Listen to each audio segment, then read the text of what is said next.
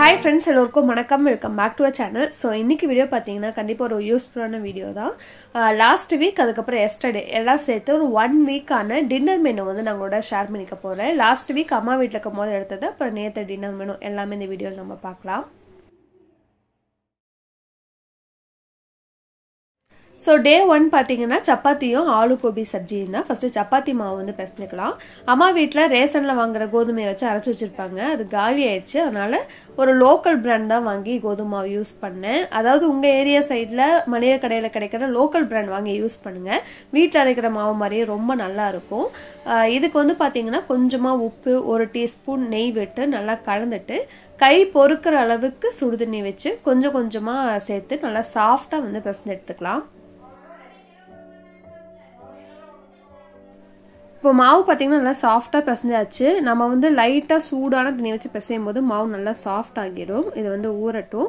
அடுத்து ஆலு கோபி சப்ஜிக்கு தேவையானதை நான் வந்து கட் பண்ணிக்கலாம்.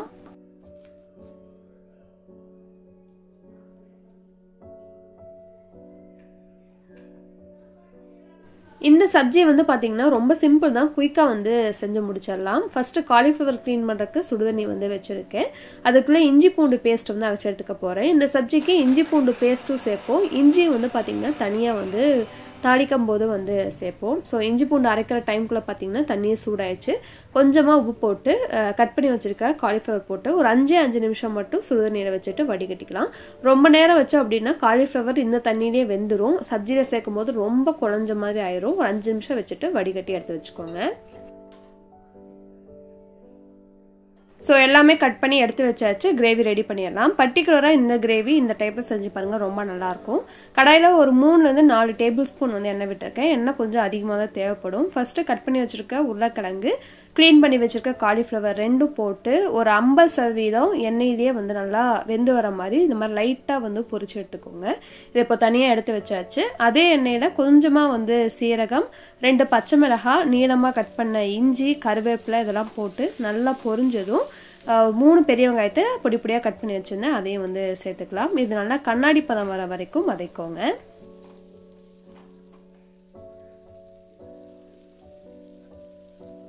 வெங்காயம் கண்ணாடி பதம் வந்ததுக்கப்புறம் பார்த்தீங்கன்னா ஒன்றரை டீஸ்பூன் இஞ்சி பூண்டு பேஸ்ட் போட்டு அதோட பச்சை வாசனை போனதும் ஒரு மீடியம் சைஸ் தக்காளி கட் பண்ணி வச்சுருந்தேன்.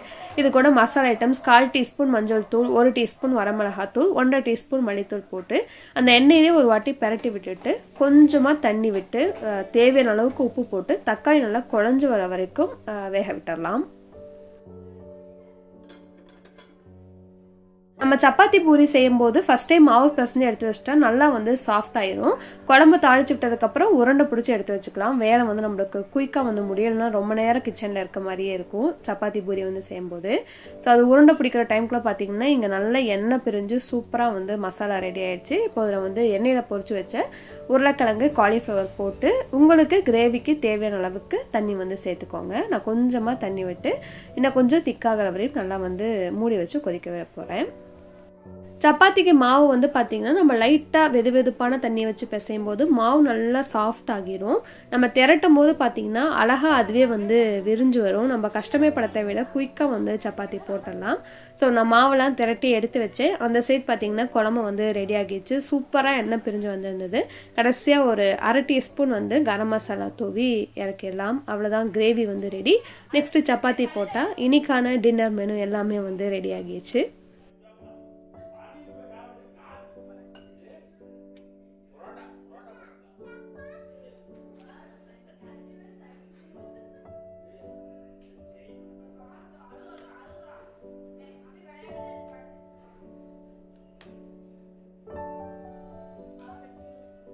ஸோ டே ஒன்க்கான டின்னர் மெனு வந்து ரெடி கண்டிப்பாக வந்து ட்ரை பண்ணி பார்த்துட்டு எப்படி இருக்குன்னு வந்து கமெண்ட் பண்ணுங்கள் அப்பாவுக்கு வந்து ரொம்ப பிடிச்சதுன்னு ஃபீட்பேக் வந்து கொடுத்தாங்க.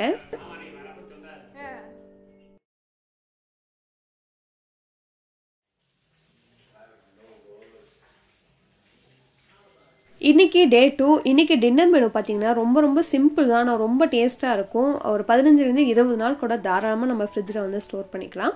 தோசையும் அதுக்கு தொட்டுக்க வரமிளகா பூண்டு போட்டு கார சட்னி தான் வந்து ரெடி பண்ண போகிறேன் ஃபஸ்ட்டு கார சட்னிக்கு பார்த்தீங்கன்னா சுடுதண்ணி வந்து பபிள்ஸ் வர அளவுக்கு கொதிக்க வச்சுருக்கேன். அடுப்பை ஆஃப் பண்ணிவிட்டு ஒரு பதினஞ்சுலேருந்து இருபது வரமிளகா போட்டு ஒரு பத்து நிமிஷம் ஊற விட்டுருங்க. வரமிளகா நல்லா ஊறி வந்துடும் பத்து நிமிஷம் கழித்து பார்த்தீங்கன்னா மிக்ஸி ஜாரில் ஒரு பத்து சின்ன வெங்காயம் ஒரு இருபது பல் பூண்டு. ஏன்னா வரமிளகா பூண்டு தான் மெயின் அதனால் கொஞ்சம் நிறையா போட்டுக்கோங்க. அதுக்கப்புறம் நம்ம சுடுதண்ணியில் ஊற வச்சுருந்த வரமிளகா ஒரு துண்டு புளி தேவையான அளவுக்கு உப்பு போட்டு நல்லா ஃபைன் பேஸ்ட்டாக அரைச்சி எடுத்துக்கலாம். இந்த சட்னிக்கு பார்த்தீங்கன்னா கொஞ்சம் எண்ணெய் அதிகமாக தேவைப்படும். ஏன்னா நம்ம ஸ்டோர் பண்ணி வைக்கிறனால வச்சுக்கலாம். அப்போ தான் வந்து கெட்டு போகாது. நாலு டேபிள் ஸ்பூன் வந்து எண்ணெய் விட்டுருக்கேன். கடுகு உளுத்தம் பருப்பு போட்டு பொரிஞ்சதும் அரைச்சி வச்சுக்க பேஸ்ட் போட்டு ஒரு வாட்டி எண்ணெய் நல்லா வந்து பொரிய விட்டுருங்க. அதுக்கப்புறம் மிக்ஸி ஜார் அலசி கொஞ்சமாக வந்து தண்ணி விட்டுக்கலாம். தண்ணி விட்டதுக்கப்புறம் அடுப்பை வந்து மீடியம் ஃப்ளேம்லேயே வச்சு மூடி வச்சு வேக விட்டுருங்க. அப்பப்போ நீக்கி பார்த்துக்கோங்க ஏன்னா அடி பிடிச்சிரும். ஒரு பத்து நிமிஷம் கழிச்சு பார்த்தீங்கன்னா சூப்பராக வந்து எண்ணெய் பிரிஞ்சு ரெடி ஆயிருந்தது. அப்பப்போ கிளறி விட்டுட்டே இருங்க. வரமிளகா பூண்டு வந்து சீக்கிரம் வந்து அடிப்பிடிச்சிரும் இட்லி தோசைக்கு வந்து சூப்பரான combination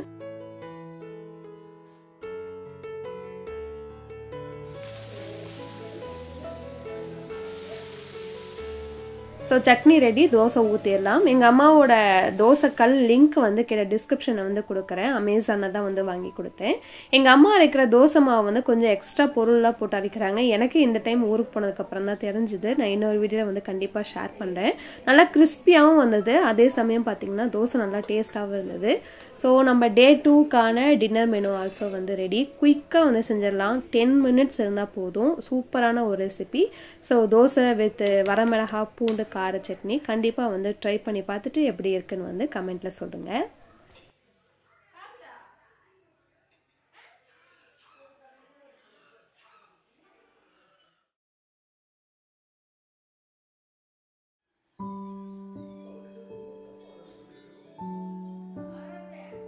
so today's day three இன்னைக்கு டின்னர் மெனு நிறைய பேர் ஷார்ட் வீடியோ பார்த்துட்டு குயிக்காக போடுங்கன்னு சொன்ன ரெசிபி நடுவில் உடம்பு சரியில்லாமல் போனால வீடியோ வந்து ப்ராப்பராக போட முடியல. ஸோ மன்னிச்சுக்கோங்க. என்னோட டின்னர் மெனுஸ் என்ன எப்பயுமே பார்த்தீங்கன்னா சிம்பிளாக குயிக்காக வேலையை முடிக்கிற மாதிரி பிளான் பண்ணுவேன். அதே சமயம் ஹெல்த்தியாகவும் இருக்கணும் டேஸ்டியாகவும் இருக்கணும் அப்படின்னு யோசிச்சு என்றைக்குமே செய்வேன். இன்றைக்கி வந்து பார்த்தீங்கன்னா கோதுமை ரொட்டி தான் வந்து செய்ய போகிறேன் எங்கள் அம்மா வந்து ஒரு மாதிரி செய்வாங்க நான் வேறு மாதிரி செய்வேன். இதுக்கு வந்து பெரிய வெங்காயம் தான் அதிகமாக தேவைப்படும். நான் வந்து ஒரு ஆறு பெரிய வெங்காயம் எடுத்திருக்கேன். இது சாப்பரில் போட்டு நல்லா ஃபைனாக வந்து சாப் பண்ணி எடுத்துக்கலாம். லேகன் சாப்பிடும்போது கீழே துப்பிடுறனால நான் வந்து சாப்பரில் போட்டு ஃபைனாக சாப் பண்ணி எடுத்துக்கிட்டேன். அதே மாதிரி கேரட்டும் பார்த்தீங்கன்னா ஒரு ரெண்டு கேரட் வந்து எடுத்திருக்கேன். குழந்தைங்களுக்கு கொடுக்கறனால கேரட் வந்து இந்த மாதிரி ஆட் பண்ணிக்கிட்டோம்னா ரொம்ப நல்லாயிருக்கும் அது கூட ஒரு அரை டீஸ்பூன் வந்து சீரகம் காரத்துக்கு தேவைக்கு வரமிளகாத்தூள் தேவையான அளவுக்கு உப்பு அதுக்கப்புறம் கோதுமை மாவு. இதுவுமே பார்த்தீங்கன்னா லோக்கல் பிராண்ட் தான் வந்து வாங்கியிருந்தேன். ஒரு வாட்டி எல்லாத்தையும் நல்லா மிக்ஸ் பண்ணி விட்டுட்டு கொஞ்சம் கொஞ்சமாக தண்ணி விட்டு மாவு பதம் வந்து பார்த்திங்கன்னா லைட்டாக கையில் பிசு பிசுன்னு ஒட்டணும். அந்த மாதிரி வந்து பிசைஞ்சு எடுத்துக்கோங்க. இப்போ மாவு பார்த்தீங்கன்னா பிசைஞ்சாச்சு. இந்த அளவுக்கு லைட்டாக பிசு பிசுன்னு கையில் ஒட்டணும். அந்த பதத்துக்கு பிசைஞ்சு வச்சுக்கோங்க. அம்மா வந்து தேங்காய் சட்னி ரெடி பண்ணியிருந்தாங்க. தேங்காய் அதிகமாகவும் பொட்டுக்கடலை கம்மியாகவும் போட்டு செய்வாங்க. அரை மூடி தேங்காய் ரெண்டு டேபிள் ஸ்பூன் பொட்டுக்கடலை ஒரு துண்டு இஞ்சி நாலு பல் பூண்டு நாலஞ்சு வரமிளகா கொஞ்சமாக கருவேப்பிலை உப்பு போட்டு எல்லாம் ஃபைன் பேஸ்ட்டாக அரைச்சி எடுத்து தாளிப்பு கொடுத்தா தேங்காய் சட்னி வந்து ரெடி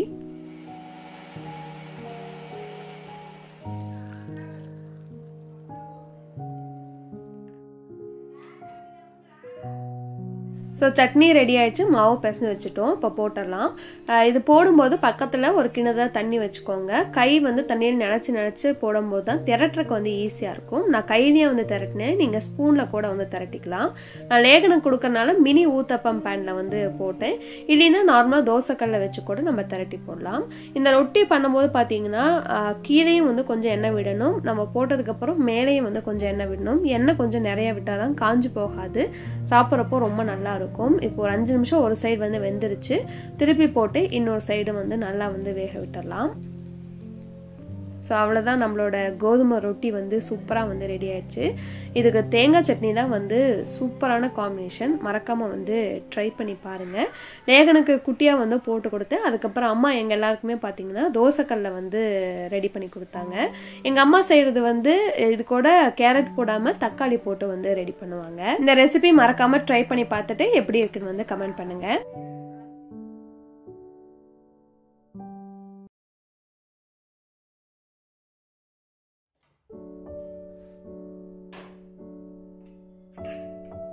இன்னைக்கு டே ஃபோர் இன்னைக்கு டின்னர் மெனு வந்து கிடையாது. டின்னருக்கு பிளான் பண்ண ரெசிபி டின்னர் வந்து செய்ய முடியாது அதனால் காலையில் பிரேக்ஃபாஸ்ட்டுக்கு வந்து இந்த டிஃபன் வந்து ரெடி பண்ணேன். ஒயிட் வெஜிடபிள் குருமாவும் இடியாப்பம் தான் ரெடி பண்ண போகிறேன் ஒயிட் வெஜிடபிள் குருமாவுக்கு கேரட் பீன்ஸ் உருளைக்கிழங்கு குடமிளகாய் இதெல்லாம் வந்து குட்டி குட்டியாக கட் பண்ணி கொஞ்சமாக உப்பு போட்டு தேவையான அளவுக்கு தண்ணி விட்டு ஒரு நாலு விசில் விட்டு எடுத்துக்க போகிறேன் இப்போ இந்த சைடு அடுப்பில் பார்த்தீங்கன்னா இடியாப்பம் பசையருக்கு மாவு வந்து வச்சுக்கலாம். ஒரு கப் மாவுக்கு முக்கால் கப் தண்ணி சரியாக இருக்கும். நீங்கள் எந்த அளவு எடுக்கிறீங்களோ அந்த அளவுக்கு அட்ஜஸ்ட் பண்ணி ஊற்றிக்கோங்க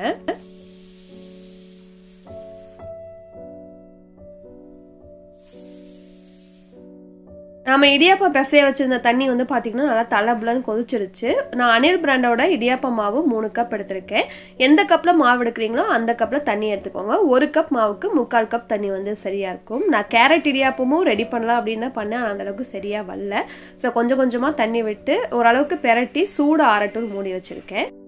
அடுத்து ஒயிட் குருமாவுக்கு வந்து பார்த்தீங்கன்னா கொஞ்சம் பொருளாக வந்து வதக்கி அரைச்சி குருமா வந்து ரெடி பண்ணோம். கடாயில் கொஞ்சமாக எண்ணெய் விட்டு நாலு பச்சை மிளகாய் அஞ்சாறு பல் பூண்டு ஒரு துண்டு இஞ்சி ஒரு டீஸ்பூன் கசகசா சோம்பு ஒரு நாலஞ்சு முந்திரி பருப்பு போட்டு நல்லா பொரிஞ்சதும் அரை மூடி திருவி வச்ச தேங்காய் போட்டு நல்லா நிறம் மாற வரைக்கும் வறுத்துக்கோங்க. ஆற விட்டு தண்ணி கொஞ்சமாக விட்டு ஃபைன் பேஸ்ட்டாக வச்சு எடுத்துக்கலாம். குருமா தாளித்து விட கடாயில் வந்து ஒரு டீஸ்பூன் வந்து கடலெண்ணெய் ஒரு டீஸ்பூன் தேங்காய் விட்டுருக்கேன். தேங்காய் சேர்த்தா தான் டேஸ்ட் நல்லாயிருக்கும். அதில் ஒரு பிரியாணியில் ஒரு துண்டு பட்டை நாலு கிராம்பு இது போட்டு பொரிஞ்சதும் வேக வச்ச காய்கறிகளை தண்ணியோடு சேர்த்துக்கோங்க. இது கூடவே நம்ம அரைச்சி வச்சுருக்க தேங்காய் பேஸ்ட் சேர்த்துக்கலாம். கொஞ்சமாக மிக்சி ஜார் அரிசி அந்த தண்ணியை வந்து விட்டுக்கோங்க. தேவையான அளவுக்கு உப்பு போட்டு ஒரு அஞ்சுலேருந்து பத்து நிமிஷம் வந்து கொதிச்சா போதும். ஏன்னா காய்கறி ஏற்கனவே வெந்தது. தேங்காய் பேஸ்ட்டு வதக்கி தான் அரைச்சிருக்கோம். அதனால் ரொம்ப நேரம் வந்து கொதிக்க தேவையில்லை. ஒரு அஞ்சு அஞ்சுலேருந்து பத்து நிமிஷம் கொதிச்சா போதும். இது கொதிக்கட்டும். இந்த சைட் பார்த்தீங்கன்னா அந்த சூடு வந்து கொஞ்சம் இடியாப்பம் பெஸ்ட் வச்சிருந்து ஆறி இருந்தது. இப்போ கை வச்சு நல்லா சாஃப்டாக வந்து பெஸ்ட் எடுத்துக்கலாம். இப்போ மாவு பார்த்தீங்கன்னா இந்த அளவுக்கு நல்லா சாஃப்டாக இருக்கணும். லைட்டாக வந்து கையில் பிசு பிசுன்னு ஒட்டுற மாதிரி தான் இருக்கணும். அப்போ தான் வந்து பதம் வந்து கரெக்டாக இருக்குது கேரட் இடியாப்பம் வந்து ட்ரை பண்ணால் ஆனால் எங்கே மிஸ்டேக் ஆச்சுன்னு தெரியல. கண்டிப்பாக வந்து இன்னொரு வாட்டி ட்ரை பண்ணி பார்த்துட்டு கரெக்டாக வந்து நான் ஷேர் பண்ணுறேன் ஸோ நார்மல் இடியாப்பம் இடியாப்ப குழலில் போட்டு புழிஞ்சு வேக வச்சிடலாம்.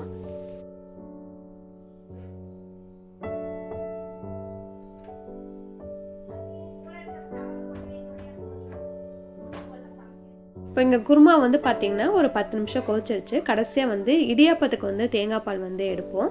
அம்மா தேங்காய் பால் எடுத்துகிட்டு இருந்தாங்க. ஒன்றாம் தேங்காய் பாலில் ஒரு அரை டம்ளர் மட்டும் கடைசியாக வந்து குருமாவில் வந்து சேர்த்துக்கோங்க. தேங்காய் பால் சேர்த்து ரொம்ப நேரம் கொதிக்கூடாது ஒரு ரெண்டு நிமிஷம் கொதிச்சதும் கருவேப்பிலை தூவி இறக்கிடலாம். அவ்வளோதான் குருமா வந்து சூப்பராக ரெடி ஆயிடுச்சு. இந்த சைடு அடுப்பில் பார்த்தீங்கன்னா இடியாப்பமும் வந்து ரெடி இடியாப்பம் வந்து நம்ம சுடுதண்ணி ஊற்றி பிசைறதுனால ரொம்ப நேரம் வேக தேவையில்லை. ஒரு நாலுலேருந்து அஞ்சு நிமிஷம் வெந்தால் போதும். நல்லா சூப்பர் சாஃப்டாக பூ மாதிரி வந்து இடியாப்பம். இடியாப்பத்துக்கு தேங்காய் பால் அதுக்கப்புறம் வந்து வெஜிடபிள் ஒயிட் குருமா. ஸோ இந்த மெனு எல்லாம் பிடிச்சிருந்ததுன்னா மறக்காமல் ட்ரை பண்ணி பார்த்துட்டு எப்படி இருக்குன்னு கமெண்ட் பண்ணுங்கள்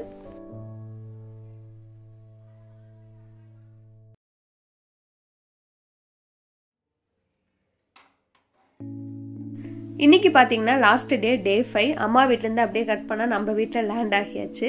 நேற்று நைட்டு டின்னருக்கு பூரி சுட்டு எக் மசாலா கிரேவி வந்து ரெடி பண்ணியிருந்தேன். எப்படி செய்யறதை பார்க்கலாம். இதுக்கு ஒரு பெரிய வெங்காயம் வந்து பொடியாக கட் பண்ணி எடுத்து வச்சுக்கோங்க. அரைக்கரைக்கு வந்து பார்த்தீங்கன்னா ஒரு அரை மூடி வந்து தேங்காய் குட்டி குட்டியாக கட் பண்ணது. அஞ்சாறு சின்ன வெங்காயம் ஒரு பெரிய துண்டு இஞ்சி பத்து பல் வந்து பூண்டு ஒரு டீஸ்பூன் சோம்பு கசகசா ஒரு ரெண்டு மூணு முந்திரி பருப்பு போட்டு கொஞ்சமாக தண்ணி விட்டு ஃபைன் பேஸ்ட்டாக அரைச்சி எடுத்துக்கலாம்.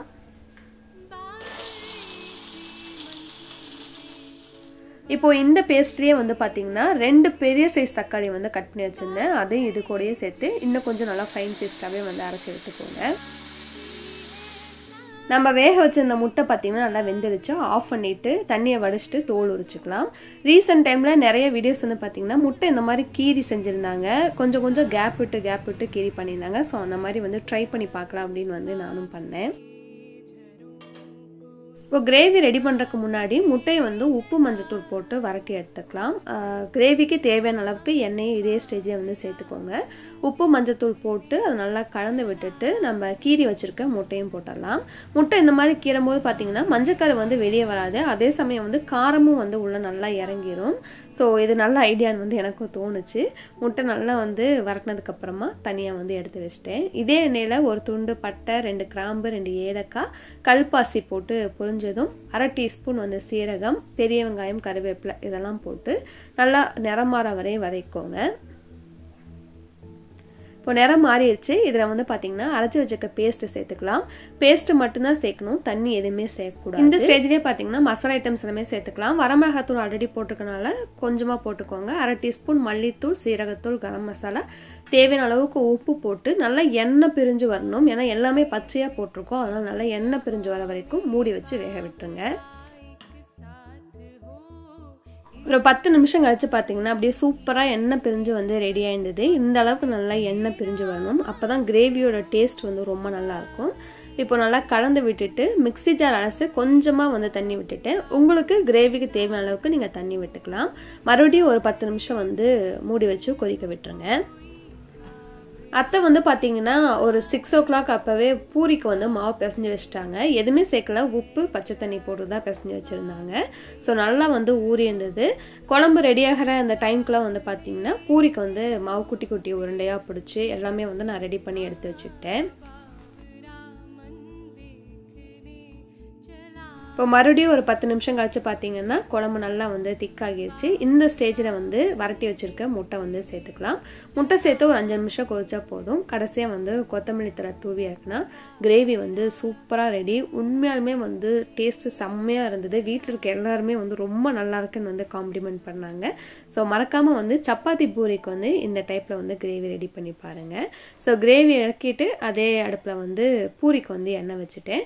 பூரி வந்து நம்ம இந்த மாதிரி உருண்டையாக பிடிச்சி வைக்கும்போது பார்த்தீங்கன்னா எண்ணெய் காயிற அந்த டைமுக்குள்ளே நம்ம வந்து கட கட கடன்னு தேய்ச்சி போட்டுக்கலாம். பூரிக்கு வந்து நான் வரமாவை தேய்க்க மாட்டேன். எண்ணெய் லைட்டாக விட்டு தான் தேய்ச்சி போடுவேன். ஸோ கரெக்டான சைஸில் போட்டிங்கன்னா பூரி அழகாக வந்து உப்பி வரும்.